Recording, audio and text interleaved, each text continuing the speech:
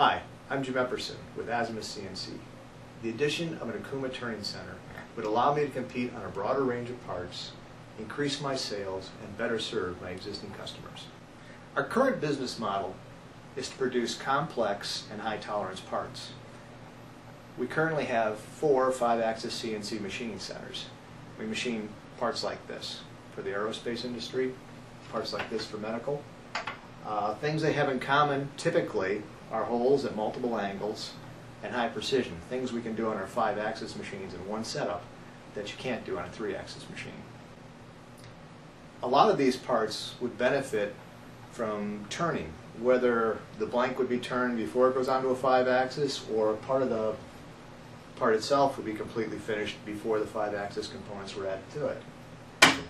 Our thought when we started business was that we would be able to have any turning done we needed done on the outside. As it turns out, we haven't found anyone to partner with that can consistently deliver the tolerances we require, the deliveries we require, which are very short. We do a lot of prototype, a lot of short run production. We may have to deliver parts in a week.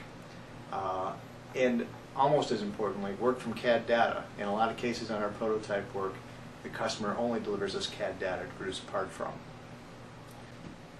Because we haven't been able to find a reliable and consistent supplier, we think we need to bring these capabilities in-house in order to produce blanks to go onto our five-axis machines quickly, precisely, in order to produce parts like this which have a good component turning to them, and also enlarge our product offering to turn components with just some five-axis.